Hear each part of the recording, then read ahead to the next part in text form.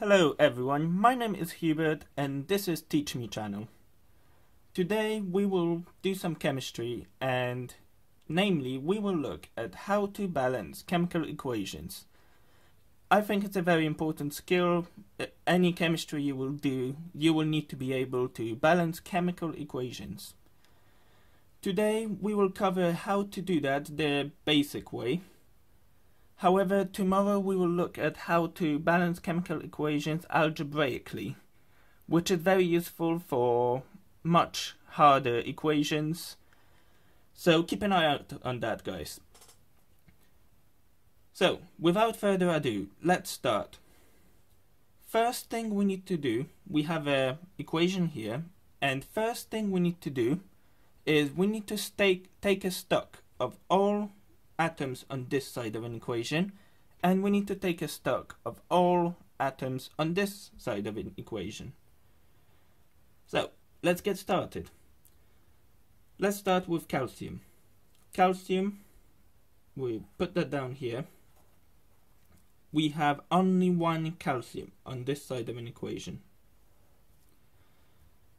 Uh, oxygens are up next. Oxygen we have 2 times O, so we have 2 oxygens on this molecule. However, we also have 4 oxygens here, so we have 6 oxygens in total. Hydrogens, we have 2 hydrogens here, however, we also have 3 hydrogens here. So we have 5 in total.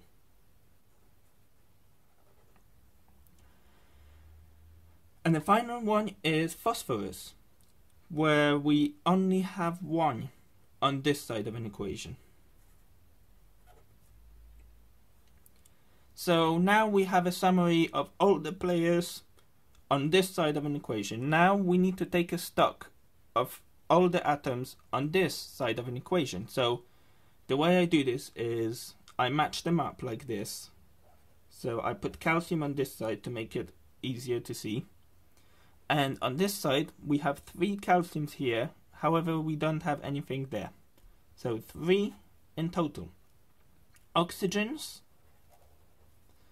We have eight oxygens in this molecule, along with one oxygen here. So we have nine oxygens in total. Hydrogens. We have two hydrogens here, and we don't have any more on this side. So we have two in total.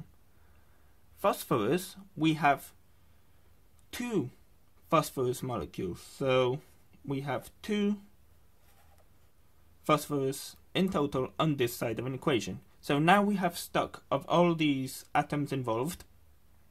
And now we need to start balancing. However, where, where on earth do we even begin here?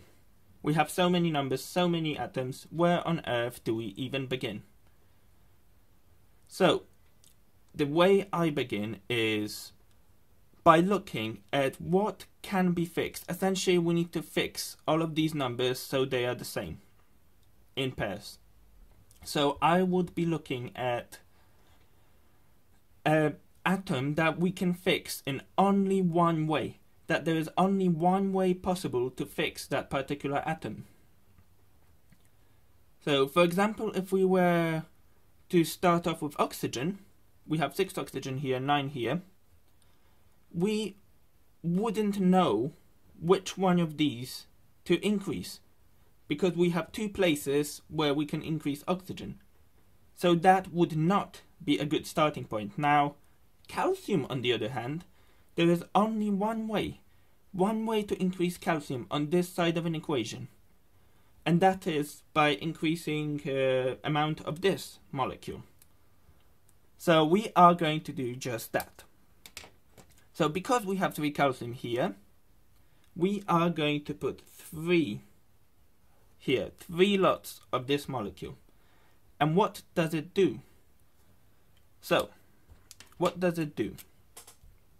We have three calciums here, so now this is good. We matched up calciums. However, because we increased three lots of this whole molecule, this will have knock-on effects on oxygen and hydrogen.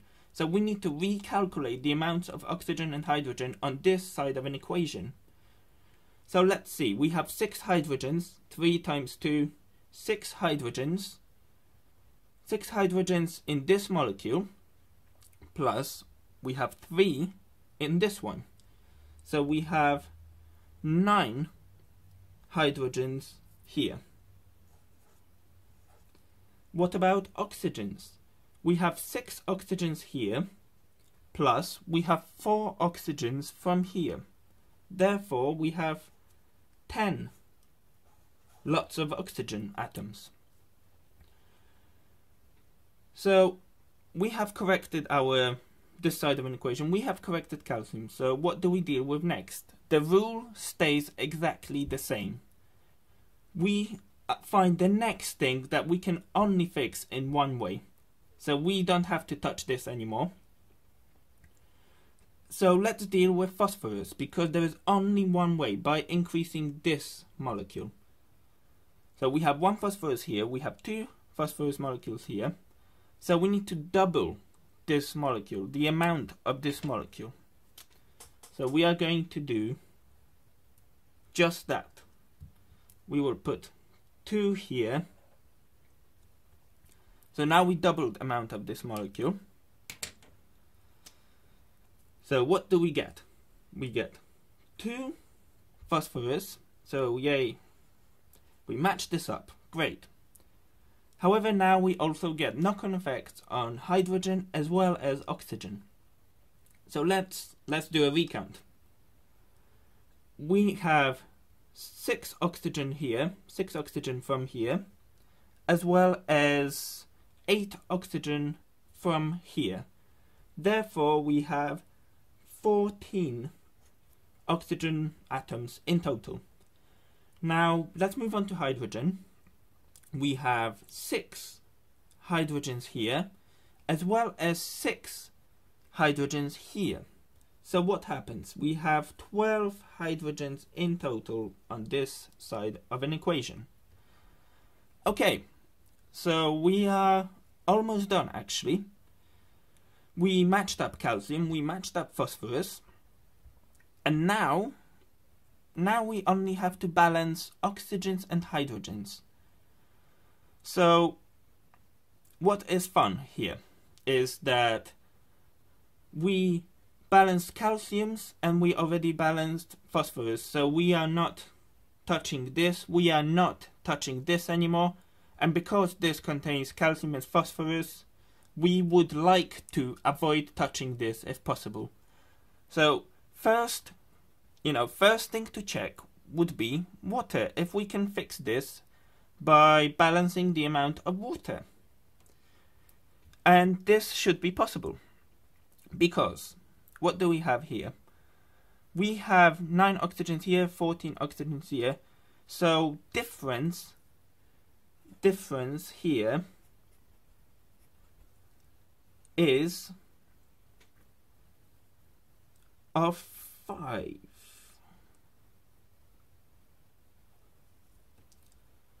Whereas here, we need to add 10 hydrogens. So, as you can see, we have a difference of 5 oxygen atoms and 10 hydrogen atoms. And here we have 2 hydrogen atoms per 1 oxygen atom. So we need to add we need to add 5 lots of this molecule to make up for these differences. Five lots. We already have one lots of water. So we're adding five lots of water. So in total, we will have six lots of water. And this is what we will put down. So what happened here? we have we have now in total four, 14 oxygens and we have in total 12 hy hydrogens.